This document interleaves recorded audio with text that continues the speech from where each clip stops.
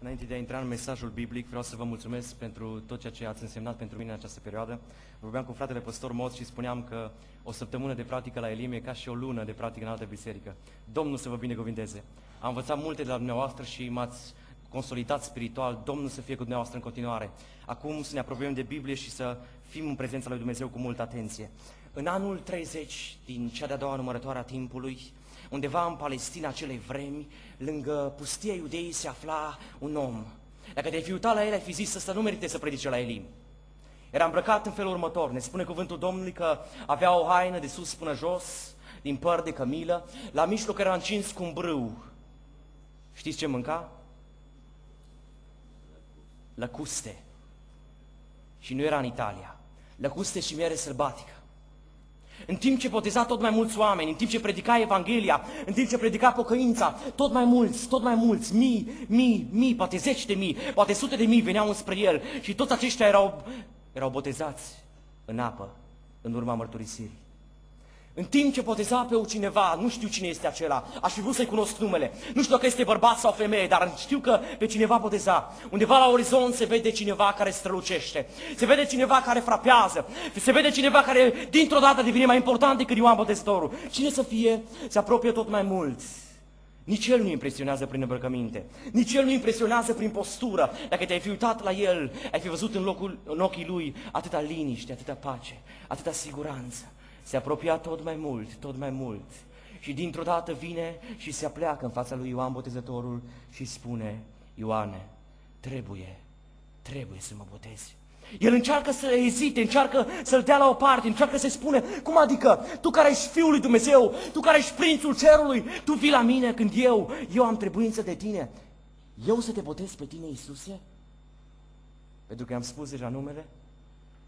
Și Iisus a zis, lasă, lasă acum, doar acum, ca să împlinim tot ce trebuie împlinit.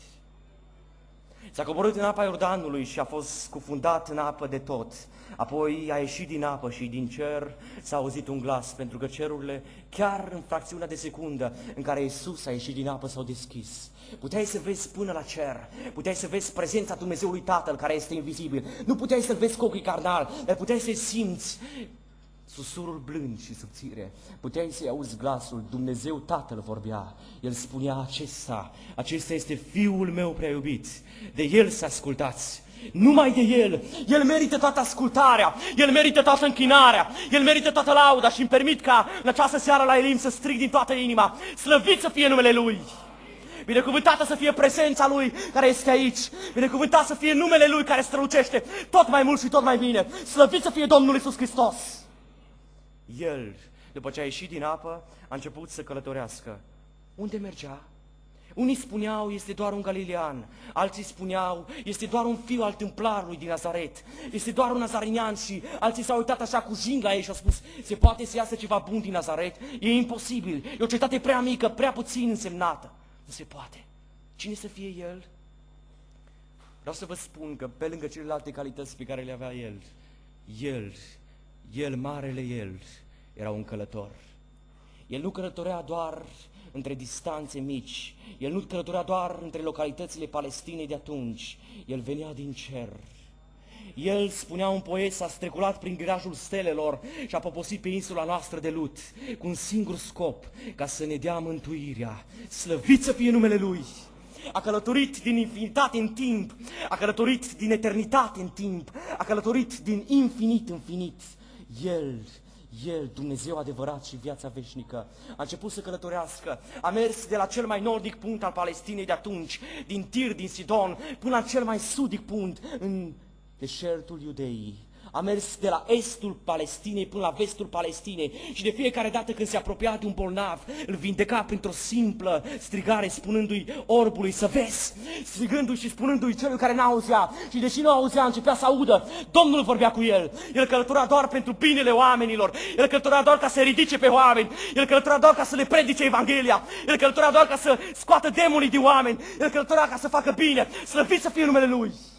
Călătorea din loc în loc din cetate în cetate. Istoricii spun că uneori călătorea de sculți, alteori doar în sandale, dar vreau să vă spun ceva, uneori călca pe ape, Apele înghețau sub tălpile lui, pentru că El era călătorul din cer. El a venit pentru fiecare dintre noi. El a venit și a călătorit.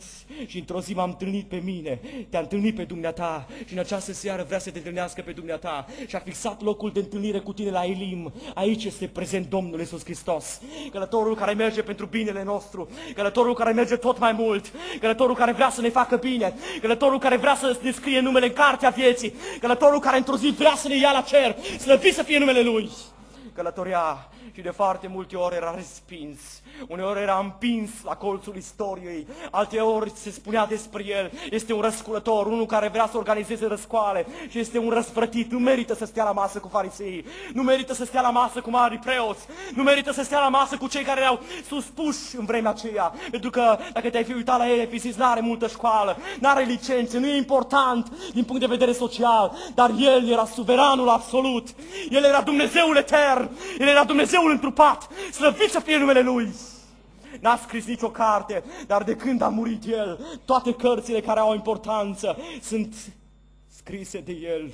El este autorul acestor cărți. Și suntem în această seară prezenți aici, pentru că ne-a lăsat o carte sfântă, Biblia. Ne-a lăsat-o pe limbă de moarte, dacă vreți. E scrisoarea Lui de dragoste. A scris-o chiar El cu degetul Lui. Aici se văd lacrimile Lui. Aici se văd simpatiile Lui. Aici se văd zâmbetele Lui. Aici se vede prezența Lui. Slăvit să fie călătorul acesta! Cum călătorea El? A călătorit timp de trei ani și jumătate aproximativ a călătorit, poate și-a parcurs sute și chiar mii de kilometre, kilometri. N-a mers cu mașină, nu avea mașină, nu avea nici măcar un măgăruș personal. El a trebuit să intre ca un împărat al împăraților în Ierusalim, a trebuit să închirieze un măgăruș. Era nespus de sărac, pentru că el n-a venit să ne dea ceva de pe pământ, el a venit să ne arate cerul. Slăvit să fie numele Lui! El călătorea, alteori când trebuia să predice și ca să aibă rezonanță predica Lui și să fie auzită și să poată să fie auzită de mulțimile care erau adunate în mii și mii ca număr.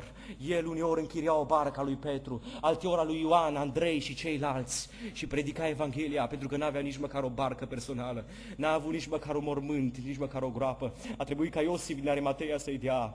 El nu a venit pentru pământ ca să ne împartă pământul. El a venit pe pământ și pentru pământ ca să ne împartă cerul. Slăvit să fie numele Lui! Călătorea, el călătorea și pasajul citit ne spune cuvântul Domnului că el călătorea, știți cum? El infinitul, El care n-are nici sfârșit a zilelor, nici măcar început, El care este fără sfârșit și fără început, El, da chiar El, El călătorea spre final. Îmi veți spune cum se poate asta? Cum se poate ca El care n-are sfârșit, ca El despre care se spune că n-are final din punct de vedere spiritual, El care este Dumnezeu adevărat și viața veșnică, El care a prins omenirea, El care era prezent la creație, El care a creat omul și tot ce se vede și chiar ce nu poți să vezi cu ochiul uman. Cum adică El? El să aibă sfârșit? Da. De ce? Pentru că El avea două dimensiuni, El avea două naturi, era Dumnezeu și om și din punct de vedere uman, acum avea să-și, să sfârșească activitatea misionară. Vă rog să citiți ce spune cuvântul Domnului în Evanghelia după Ioan, în capitolul precedent celui citit, capitolul 16, versetul 16. Peste puțină vreme nu mă veți mai vedea, apoi, peste puțină vreme mă veți vedea din nou, pentru că mă duc la Tatăl meu și dacă veți citi acest capitol 16, veți observa cum există niște lacrimi în ochii Domnului, cum spune aceste cuvinte și parcă tristețea le umple inima celor prezenți, ucenicilor. Ei se aflau în odaia de sus și le spune în curând, poate că peste câteva ore, nu mă veți mai vedea. De ce, Doamne? Ne-am obișnuit cu tine să ne vindeci bolnavii. Ne-am obișnuit cu tine să ne arăți slava ta. Ne-am obișnuit cu tine să mâncăm din pâinile pe care tu le mulțești. Ne-am obișnuit să stăm în prezența ta și atât de bine în prezența ta, Doamne. Acum, de ce ne spui că s-ar putea să pleci și chiar vei pleca și noi nu vom putea să te mai vedem cu ochii umani? De ce? De ce călătorești tu spre final? Oare chiar călătoream spre final? Da, spune versetul 4 din capitolul citit. Eu, spunea Domnul Iisus Hristos, vorbind cu Tatăl, cu Dumnezeu Tatăl, eu te-am proslăvit pe pământ. Am sfârșit lucrarea. Am sfârșit lucrarea. Cu alte cuvinte spunea Domnul Eternul, eu din punct de vedere uman sunt la finalul călătoriei mele. Fiecare dintre noi fie că vrem să credem, fie că nu vrem să credem, fie că vrem să acceptăm, fie că nu vrem să acceptăm, fie că vrem să ne lungim viața cu câteva secunde mai mult, fie că nu vrem sau vrem să o scurtăm chiar, sunt unii de felul acesta. Vreau să vă spun ceva, un adevăr care nu poate să fie contestat. Fiecare dintre noi călătorim spre final. Fiecare dintre noi, cu fiecare secundă care ni se scurge din viață, cu fiecare atitudine pe care o avem, care este bună sau rea, cu fiecare privire pe care o îndreptăm spre un loc bun sau spre un loc rău, fiecare dintre noi, fără să realizăm, călătorim spre final. Mesajul din această seară vrea să se intituleze Călătorind spre final. Călătorind spre final. Cum să călătorim spre final? Pentru că oricum într-o zi vom muri dacă nu va reveni Domnul Isus Hristos înainte de a fi intrați noi în groapa mormântului. Oricum vom avea un final din punct de vedere uman. Și Michael Jackson a murit, să știți. Și cei care sunt cei mai importanți mor. Toți oamenii mor. Fie că ei nu vor să moară sau vor să moară. Nu contează. Toți mor. Fiecare dintre noi călătorim. Și călătorim pe drumul finalului. Pe drumul în care se pune punct vieții noastre. Cum a călătorit Fiul lui Dumnezeu Eternul, din punct de vedere uman, spre finalul lui omenesc. Cum? Ne spune cuvântul Domnului că după ce a vorbit cu, cu ucenicii, după ce le-a spus că se apropie momentul în care trebuie să se desparte pentru câteva momente, pentru câteva zile, ne spune versetul întâi, după ce a vorbit astfel Iisus, a ridicat ochii spre cer și a zis, Tată, Tată, Tată, a sosit ceasul. Care ceas? Despre ce ceas vorbea Domnul Isus Hristos? Cum călătorea Domnul Isus Hristos înspre finalul lui uman? Cum mergea El spre punctul terminus? Cum mergea? Știți cum? În primul rând, urmărind ceasul cerului. El nu se uita spre ucenici în primul rând, deși vedea cu ochii plini de lacrimi. El nu se uita în primul rând spre Maria, mama lui. Nu se uita spre ceilalți care erau în anturajul lui. El când călătorea spre final, se uita spre cer. El spunea, am ridic ochii spre cer și cred și îmi permit să fac asta. Cred că Domnul când a ridicat ochii spre cer, a închis ochii. Pentru că el și când închidea ochii, vedea tot ce se întâmplă. A ridicat ochii spre cer, s-a uitat înspre Tatăl și Tatăl s-a uitat înspre el și s-a realizat între ei o unitate sfântă. Și Fiul a zis, Tată, a sosit ceasul, călătoresc înspre final, dar nu călătoresc privind înspre lume, nu călătoresc înspre final privind nici măcar înspre ucenicii mei, înspre cei pe care i-am crescut, pentru care mi-am dat timpul meu, tot ce am avut eu mai bun, pentru care n-am dormit noaptea și ziua, pentru care am stat lângă ei totdeauna, nu spre ei mă uit, mă uit înspre cer și mai mult, mă uit să văd ce arată ceasul tău. Tată, tu știi aceasta, a sosit ceasul. Dacă veți studia cartea aceasta a Evangheliei după Ioan, veți observa că în primele 17 capitole, doar în primele 17, de 18 ori se vorbește despre ceas. De șase ori se vorbește despre un ceas fizic care are 60 de minute și așa mai departe, știți dumneavoastră, pe care le purtăm pe mână, pe balcon și așa mai departe. Ceasul acesta fizic, fără de care nu putem să ne organizăm viața. Dar de 12 ori se vorbește despre un ceas spiritual un ceas după care fiecare dintre noi am venit în lume. Un ceas după care fiecare dintre noi vom avea parte și vom întâlni evenimentele speciale din viața noastră. Nu se întâmplă așa pentru că este hazard. Nu se întâmplă așa pentru că noi ne-am programat în primul rând, ci pentru că ceasul lui Dumnezeu a zis că trebuie să se întâmple asta. Suntem în această seară prezenți la Elim, la biserica aceasta din Timișoara, nu pentru că neapărat ne-am programat, ci pentru că ceasul cerului spune că trebuie să fim prezenți în această seară. Slăvit să fie Domnul!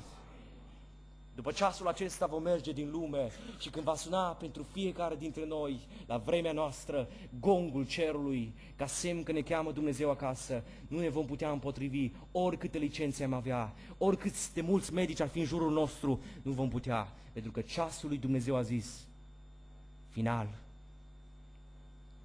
Ce să arate ceasul acesta? Dacă veți citi în cartea Evangheliei după Ioan, veți observa că de 12 ori se vorbește despre ceasul spiritual. Vreau să prind doar câteva elemente. Ce arată ceasul acesta? Acest ceas spiritual trebuie să ne călăuzească. Vă rog să priviți imaginea în care Domnul Iisus Hristos stătea acolo la nunta din Cana și la un moment dat Maria, mama Domnului Iisus Hristos, a sesizat că s-a întâmplat o problemă, că ceva s-a întâmplat, că nu mai există vin. A venit spre, spre Domnul Iisus Hristos Eternul și a zis, Iisuse, fiule, nu mai au vin. Domnul se apropie de ea și parcă e dur parcă nu are respect față de mama lui, dar nu e adevărat, are foarte mult respect. Dar pentru el e mai important ceasul cerului decât chiar mama lui fizică. Și spune, femeie, femeie, nu mi-a sosit încă ceasul. Care ceas? Pentru că dacă veți citi cu atenție Ioan capitolul 2, veți observa că după câteva momente, probabil au trecut doar câteva minute, probabil au trecut câteva momente în care le spune cuvântul Domnului, Domnul s-a apropiat de slujnicile care erau prezente acolo, de slujitorii care erau prezenți acolo și au zis, scoateți apă, să le puneți în vase și așa mai departe. Doamne Iisuse, nu te înțeleg. Cum adică acum câteva minute ai spus că nu ți-a sosit ceasul și acum încep să lucrezi? De ce? Ceasul lui Dumnezeu bate la fracțiune de secunde și poate chiar mai scurt. Pentru că ceasul cerului e extraordinar de fix. Acest ceas pe fiecare dintre noi trebuie să ne călăuzească. Domnul Iisus Hristos nu a făcut acele minuni pentru că El în primul rând ca și om a vrut, ci pentru că ceasul lui Dumnezeu Tatăl a indicat faptul că trebuie să facă aceste minuni. Atunci când trebuie să stai la răspândii de drumuri, atunci când trebuie să iei o decizie pe care nu poți să o explici, atunci când ești împins de oameni într-o anumită parte sau în alta, atunci când ești confuz, atunci când ești în ceasă, în ceață, privește ceasul cerului. Fii atent la ceasul cerului. Întreabă-te, oare ceasul cerului indică acest lucru? Nu faptul că va fi mai târziu și se va întâmpla mai târziu lucrul acesta, ci ceasul cerului indică acest lucru acum. Ceasul cerului trebuie să ne călăuzească. Ceasul cerului uneori indică suferință. Vă rog să priviți imaginea în care ne spune cuvântul Domnului Ioan în capitolul 12. Domnul Iisus Hristos vorbea și acum parcă plânge din adâncul inimii. Ascultați ce spune versetul 27, Ioan capitolul 12. Acum spunea Domnul Eternul, Fiul lui Dumnezeu, Cel care era Dumnezeu adevărat și viața veșnică. Dar ca și om vorbea următoarele cuvinte și spunea, acum sufletul meu, spunea Iisus, este tulburat Acum sunt în confuzie din punct de vedere uman. Acum nu știu ce să cred. Și spunea el continuând, și ce voi zice? Și după semnul acesta de întrebare, Cornilescu e foarte atent pentru că există trei puncte de suspensie. Nu sunt puse la întâmplare. Nu e o greșeală de gramatică, nu e o greșeală ortografică. Acolo e prezent ceva cu multă semnificație. Ce dorea să spună? Eu cred că aceste puncte de suspensie sunt puse acolo pentru că Ioan Evanghelistul a fost atent și era prezent acolo lângă Domnul Isus Hristos și a observat că după ce a pus această întrebare, Fiul Etern, Domnul Iisus Hristos a făcut o pauză lungă, pentru că era o presiune psihică pe sufletul lui, era o tulburare, era ceva care nu puteai să-ți explici. Și Fiul lui Dumnezeu a făcut o pauză. Și cuvântul Domnului spune, voi zice oare, Tata, izbăvește-mă din ceasul acesta? Și apoi există din nou, după acest semn de întrebare, din nou trei puncte de suspensie, o altă pauză lungă. Și fiul zice, dar tocmai pentru aceasta am venit până la ceasul acesta. Cu alte cuvinte spunea Domnul Iisus Hristos, eu n-am venit pe pământ ca să fiu important, n-am venit pe pământ ca să fiu renumit, deși a fost cel mai renumit și este cel mai renumit. Eu am venit pe pământ ca să împlinesc ceasul cerului, ca să spun tuturor și celor care vor să mă urmeze că există un ceas pe care nu pot să spun dacă este în formă de cer sau de pătrat. Nu pot să-l descriu în această seară pentru că nici măcar nu e important cum arată. Vreau să vă spun că e ceasul cerului, e cel mai important ceas din univers, e ceasul lui Dumnezeu Dumnezeu. După acest ceas trebuie să ne călăuzim fiecare dintre noi. Că acest ceas uneori va indica suferință, uneori va indica criză, uneori va indica faliment. Pentru Fiul acesta, pentru Domnul Isus Hristos ca și om, acest ceas, în aceste momente pe care le-am prezentat mai înainte, era un ceas al suferinței, era un ceas al zdrobirii, era un ceas în care umanitatea din el se întreba ce să fac, să renunț, să renunț la cruce, să nu mă mai duc la Golgota, ce să fac? Vreau să vă întreb, credeți dumneavoastră că putea Domnul Isus Hristos să renunțe la Golgota? Putea. Dar n-a vrut să o facă, știți de ce? Pentru că a vrut să împlinească ceasul cerului. Pentru că ne-a văzut în această seară de 30 august 2009 pe fiecare dintre noi. Ne-a văzut în palmele Lui. Ne-a văzut că noi vom fi rodul, rodul suferințelor Lui. Și a zis, pentru ceasul ăsta am venit. Pentru oamenii aceștia am venit pe pământ. Mă voi duce până la capăt să împlinesc ceasul cerului. Slăvit să fie Domnul. Călătorind spre final, ar mai fi câteva ceasuri, dar nu-mi permite timpul călătorind spre final, după ce că trebuie să urmărim ceasul cerului, să stăm în prezența lui Dumnezeu și să spunem, Doamne, ce trebuie să fac acum? Unde trebuie să mă duc? Care e decizia pe care trebuie să iau? Care e hotărârea care îți place ție? Cea mai bună pentru mine? Care e voia ta? Care e planul tău? Care e decizia pe care o ai Dumnezeule în mintea ta și în planul tău pentru mine? Acesta e ceasul călăuzirii. Apoi există uneori un ceas al suferinței. Și vreau să vă mai amintesc de un ceas despre care e scris tot în Evanghelia după Ioan. Doar Evanghelia după Ioan o vom folosi la ceasurile acestea. Spre cuvântul Domnului, nu vă mirați, versetul 28, Matei, capitol, Ioan capitolul 5, nu vă mirați de lucrul acesta, spunea Domnul Iisus Hristos, pentru că vine ceasul, vine ceasul când toți cei din morminte vor auzi glasul Lui, glasul Dumnezeului Tatăl, după ceasul lui Dumnezeu și vor ieși afară din ele cei ce vor fi făcut binele vor învia pentru viață și cei ce au făcut răul vor învia pentru judecată. Toate se vor întâmpla după ceasul cerului, într-o zi la marele tron de judecată al cerului, când va fi prezent Fiul lui Dumnezeu pe tron, când va fi judecător, nu doar el ca și, ca și cum a fost pe pământ, când va fi judecător etern, acolo va fi un ceas și după ceasul acela vor fi chemați fie la judecată, fie la viață eternă. Oare ce alegi dumneata în această seară? Oare vei vrea ca în acele momente să fie arătat degetul Tatălui spre tine și să spună pentru că ți-am dat har ca în 30 august 2009 să fii prezent la Elim, la Timișoara, ți-am vorbit despre ceasul meu, ți-am vorbit despre ceasul închinării reale. E vremea să ne închinăm lui Dumnezeu în duh și în adevăr, nu după ritualuri, nu după obiceiuri, ci după ceasul lui Dumnezeu. Ți-am vorbit despre asta, ți-am vorbit că există un iad și un rai, ți-am vorbit că trebuie să-L alegi pe Iisus Hristos și dacă în această seară nu-L alegi, l-ai și respins și l-ai și ales pe diavolul. Ți-am vorbit despre toate acestea. Omule bun, va arăta degetul tatălui spre tine. De ce n-ai vrut? Și nu vei mai putea să spui nimic. Vei amuți la fracțiune de secundă, pentru că n-ai înțeles în această seară ceasul, ceasul lui Dumnezeu. Finalul se apropie. Aș vrea să spun că va fi pentru tine un happy end, un sfârșit fericit, un sfârșit frumos, dar nu pot. Sfârșitul dumitale Dumneata îl decizi în această seară. Stă în puterea gurii dumitale. Dacă vei spune un da pentru cer, atunci ceasul cerului te va călăuzi în fiecare secundă. Vei merge cu Dumnezeu de aici și Dumnezeu va fi în inima dumitale. Și oricând îți va fi greu, Dumnezeu va fi lângă tine. Oricând îți va merge bine, Dumnezeu va fi lângă tine. Și ceasul lui Dumnezeu te va călăuzi în orice circunstanță. Și vei călători spre finalul dumitale, urmărind întotdeauna, întotdeauna ceasul lui Dumnezeu. Călătorind spre final, în primul rând, urmărind ceasul lui Dumnezeu. Călătorind spre final, în al doilea rând, să primim și să acceptăm cadourile cerului.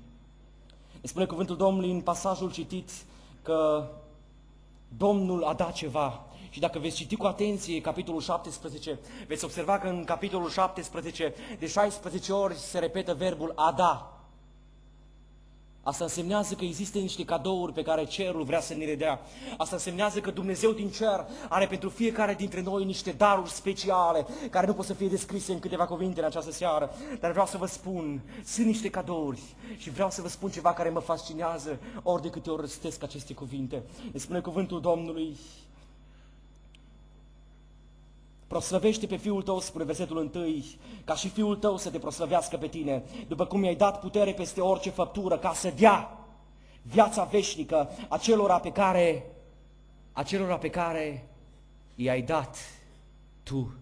Știați dumneavoastră că fiecare dintre noi care l-am acceptat ca Domn și Mântuitor pe Iisus Hristos, da, chiar fiecare dintre noi, indiferent de statutul nostru social, indiferent de cum ne privește societatea și lumea în care ne mișcăm, da, fiecare dintre noi, știți ce suntem?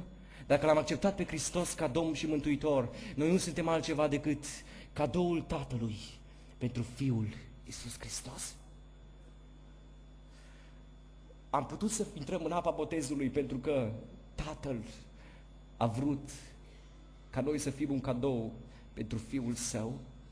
Nu am intrat neapărat în apa botezului pentru că l-am acceptat pe Domnul ca mântuitor, deși acest lucru a fost un pas spre mântuire, dar am intrat în apa botezului și suntem mântuiți în această seară, cei care l-am acceptat pe Iisus, pentru că Tatăl a vrut să dea Fiului Său un cadou dar acest lucru ne responsabilizează, acest lucru ne face să fim atenți, acest lucru ne face să nu mai trăim cum am trăit mai înainte, pentru că ori de câte ori dezonorăm numele Domnului, ori de câte ori facem niște fapte murdare, atunci, atunci lovim în onoarea Tatălui.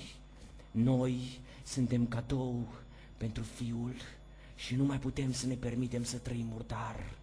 Pe lângă acest adevăr vreau să vă spun că Tatăl din cer, pentru fiecare dintre noi, pentru fiecare om, indiferent dacă este pocăit sau nu, indiferent dacă îl cunoaște în mod personal pe Domnul Iisus Hristos sau nu, fiecare dintre noi avem din partea Tatălui și chiar din partea Fiului niște cadouri. Vreau să le amintesc în scurte cuvinte, ne spune cuvântul Domnului, după cum mi-ai dat putere peste orice făptură ca să, ca să dea viața veșnică Cine dă viața veșnică? Oare dă viața veșnică o biserică? Oare dă viața veșnică un pastor? Oare dă viața veșnică un prelat? Oare dă viața veșnică un ariepiscop? Un prea fericit? Cine dă viața veșnică? Viața veșnică o dă Fiul lui Dumnezeu. Viața veșnică o dă Cel care s-a dat pentru noi. Viața veșnică o dă Cel care este numit viața cu fumare. Cel care s-a dat pe Golgota pentru noi și a murit.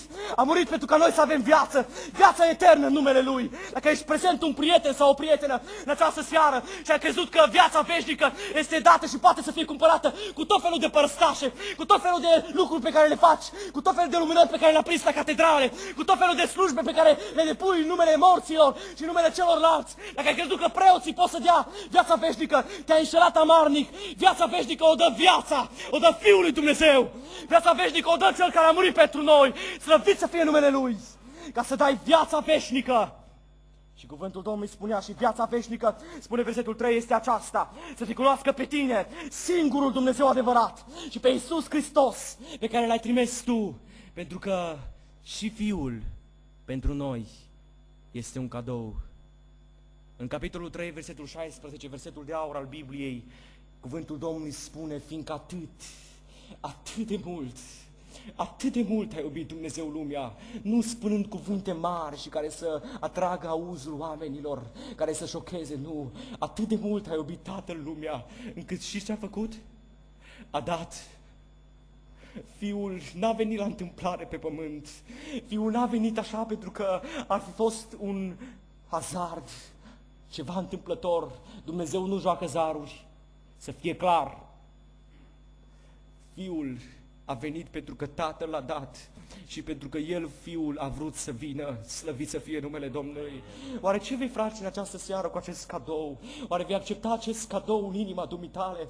Oare vei spune, Doamne, Dumnezeule, m-am săturat de ce spun preoții care m-au mințit de multe ori, m-am săturat de ce spun ceilalți care mi-au promis viață veșnică și atunci când am mers la biserică am avut o senzație așa de plăcere, m-am, m-am, m-am liniștit cumva psihologic, crezând că printr-o lumânare mă voi apropia de cer, dar când am ajuns acasă am, am întâlnit aceleași probleme, aceleași carențe, aceleași căderi, Doamne, văd că nu sunt mulțumit cu asta. Dacă vrei și simți aceste lucruri, vreau să spun ceva. Acum se deschide pentru dumneata un cadou. E cadoul cerului. E cadoul cerului. Este Domnul Isus Hristos. Oare vrei să trăiești tragedie, tragedia acestui cadou nedesfăcut?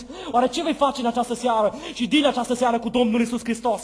Oare vei accepta ca Domn și Mântuitor? Oare vei spune, Doamne Iisuse, vreau să plec de la Elim cu Domnul Isus Hristos în inima mea, pentru că știu că Tu bați, bați blând la ușa inimii mele. Vreau să o deschid larg ca să intri pentru eternitate. Și când va intra El în inima ta, va scoate păcatele din inima dumitale, va scoate gândurile murdare, va scoate toate locurile murdare pe care le-ai frecventat. Și niciodată nu vei mai merge acolo, pentru că împreună cu tine va fi Isus, slăvit să fie numele Lui. Cadoul care acum se deschide pentru dumneata, oare vei, vrei să-l accepti? Oare vrei să-l primești? Călătorind spre final, pentru că realizezi și dumneata că în fiecare zi te apropii mai mult de moarte și cu fiecare eveniment care ți se întâmplă, moartea mușcă tot mai mult din dumneata. Călătorind spre final, oare vei vrea să urmărești ceasul cerului? Călătorind spre final, oare vei vrea să primești cadourile cerului? Oare vei vrea să-L primești pe Domnul Isus Hristos? Oare vei vrea să primești cuvântul Sfânt? Pentru că Domnul Isus Hristos spunea, le-am dat, spune versetul 14, le-am dat cuvântul tău și lumea, lumea i-a urât. Oare vei vrea ca din această seară să pleci de la Elim cu Dumnezeu în inima dumitale, să pleci cu cartea asta sfântă și să nu mai crezi în sfânta tradiție care te minte, să nu mai crezi în tot felul de cărți care spun că vei ajunge în rai pe tot felul de slujbe plătite, vor să scoată banii de la tine. Vreau să spun ceva, mântuirea e gratis, e prin Domnul Isus Hristos. Mântuirea e datorită acestui cuvânt care a fost susținut până astăzi, și pentru care mulți au murit, pentru care mulți au fost și au ars ca niște ruguri pentru această carte, pentru care mulți au fost tăiați în două cu ferăstrăul. E cartea eternă, Biblia. Dacă vei merge din această seară cu cartea aceasta în inima dumitare, atunci să știi, ai viață veșnică în numele Lui, slăvit să fie numele Domnului. Călătorind spre final, în primul rând, să urmărim ceasul cerului. Călătorind spre final, în al doilea rând, să primim cadourile cerului, să primim pe Domnul Isus Hristos, să primim cuvântul Lui, să primim viața veșnică. În al treilea rând, călătorind spre final, să așteptăm ceva care merită să fie așteptat. Știți ce? Nu salariu mai mare, nu să dispară criza în Europa sau în America, nu să nu intrăm cumva în șomaj, nu să ne crească salariile sau altceva de felul acesta, nu să avem prieteni mai cunoscuți și mai renumiți și mai influenți. Nu asta. Știți ce? Să așteptăm coroana. Să așteptăm coroana. Dacă veți citi cu atenție aceste cuvinte din Ioan capitolul 17, veți observa că doar în capitolul 17 se rostește acest verb a proslăvi de cinci ori și verbul, și mai bine zis substantivul slavă de patru ori. Îi spune cuvântul Domnului, Doamne, vreau să primesc slava pe care am primit-o, versetul 5, și acum, Tată, proslăvește-mă la Tine însuți cu, cu slava pe care o aveam la Tine înainte, înainte de a fi lumea. Înainte de a veni Domnul Isus Hristos pe pământ, El nu a venit pentru că a fost o victimă. Înainte de a veni, El era împărtășia îngerilor. Serafimii cântau doar pentru numele Lui. Toți heruvimii se închinau și și aplecau aripile, cele șase rânduri și cele șase aripi și le aplecau pentru gloria Lui. El acolo era în slavă, o slavă pe care nu pot să o descriu pentru că nici Apostolul Pavel nu și-a permis și n-a putut să descrie în termeni umani. Nu sunt expresii de ajuns ca să descriu această slavă care e în cer, dar vreau să vă spun ceva, călătorind înspre final, Fiul lui Dumnezeu, știți despre ce se uita? Știți ce aștepta? El aștepta slava. Dacă vreau ceva pentru fiecare dintre noi în această seară, vreau ca fiecare dintre noi, călătorind spre finalul nostru, să primim înspre cer. Și Evanghelia spune Fii credincios și chiar Apocalipsa, în capitolul 2, bisericii din Sardes și îngerului acestei biserici scrie în ultimele cuvinte pe care el le adresează, fii credincios până la moarte și vei primi cu luna slavei. Într-o zi pentru fiecare dintre noi cerul se va deschide. Într-o zi partea aceea de mărgăritar dintr-o singură bucată se va deschide pentru fiecare dintre noi care am acceptat să călătorim spre final privind spre ceasul cerului, care am acceptat să călătorim spre final primindu-L pe Domnul Isus Hristos ca Domn și Mântuitor și primindu-L pe El să primim viață veșnică și primindu-L pe El să primim cuvântul Lui, care am acceptat aceste lucruri într-o zi, ne va aștepta slava. Și Apostolul Pavel scria în 2 Timotei, în capitolul 4, mi-am isprăvit alergarea, am păzit credința, de acum, de acum așteaptă cu nuna neprihănirii, pentru că pe pământ am fost neprihănit, pentru că am acceptat să trec prin celule, pentru că am acceptat să trec prin criză, pentru că am acceptat ca uneori să fiu împroșcat cu pietre și oamenii care m-au împroșcat au crezut că am murit și apoi dintre dărâmături, dintre pietre m-am ridicat, pentru că eu, eu priveam nu spre ceva frumos pe pământ, de la Damas până la ultimul meu punct, până la punctul final. Eu am, primit, am privit spre slava cerească, eu am așteptat coroana, coroana pe care mi-o va pune Domnul în ziua aceea, judecătorul cel drept. Și nu era egoist Apostolul Pavel, el spunea, și nu numai mie, ci tuturor celor ce vor fi iubit venirea Lui. Mai iubești dumneata cerul? Mai vrei să privești spre cer, mai vrei să privești slava de acolo, mai vrei să-L vezi pe Dumnezeu în toată măreția Lui. Dacă vrei, atunci nu poți să ajungi la slavă fără să urmărești ceasul acestei slave. Nu poți să ajungi la slavă fără să-L primești pe Domnul ca mântuitor. Nu poți. Călătorind spre final, să nu uităm niciunul dintre noi, să urmărim ceasul cerului. Călătorind spre final, să primim cadourile cerului, nu cumva să le respingem, călătorind spre final, să așteptăm coroana pe care ne va pune pe cap chiar El, mirele nostru drag, drag Iisus Hristos. Amin.